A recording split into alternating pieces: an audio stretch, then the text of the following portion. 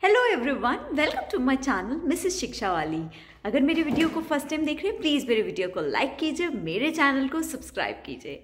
आज का मेरा टॉपिक आपको कुछ बहुत कलरफुल सा मेरे बैक में दिख रहा होगा। तो आज का मेरा टॉपिक यही है कि मैं आज आपको, कि जो आपकी प्री प्राइमरी की क्लासेस में पिन बोर्ड होता है सॉफ्ट बोर्ड होता है, उसको कैसे डेकोरेट करें डेकोरेशन का आइडिया देने के लिए ये वीडियो बनाया है।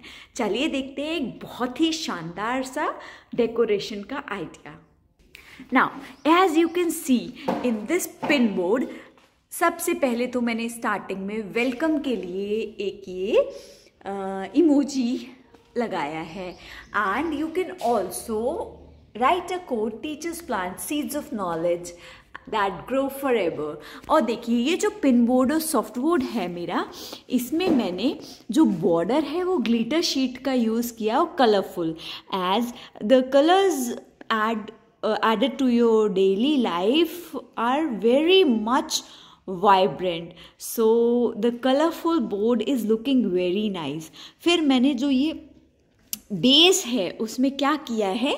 ये ग्रीन फ्लोरेसेंट शीट से मैंने ग्रास बनाई है, फिर ये जो मैंने बाउंड्री बनाई है ऑरेंज से देन मैंने छोटे छोटे ये बनी जो हैं, देखिए थ्री में है ये बनीज मैंने ये इस पर पे पेस्ट किए और उस पर मैंने पूरा ए टू जेड अल्फ़ाबेट्स देखिए।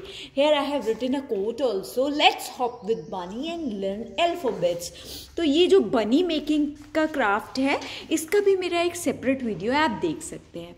फिर मैंने ये देखिए वन से लेके टेन तक की काउंटिंग को बहुत अच्छे से बर्ड्स की फॉर्म में एक्सप्लेन किया है। ये बर्ड्स भी जो हैं दीज आर थ्री डी ठीक है? One two three four five six seven eight nine ten फिर मैंने जो डेज़ ऑफ़ वीक है Monday Tuesday Wednesday Thursday Friday Saturday Sunday ये मैंने क्लाउड्स की फॉर्म में और ये क्लाउड्स मैंने हल्का सा वैक्स कलर से शेड कर दिया है।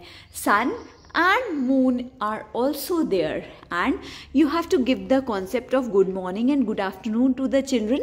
और ये देखिए ट्वेल्व ओ क्लॉक के बाद पहले मॉर्निंग उसके बाद गुड आफ्टरनून तो ये मैंने एक चार्ट पे बना के इस पे अरेंज कर दिया है। So this is the idea you can also take from this and thank you for watching my video please like comment and subscribe my channel and also press the bell icon for the notification bye happy learning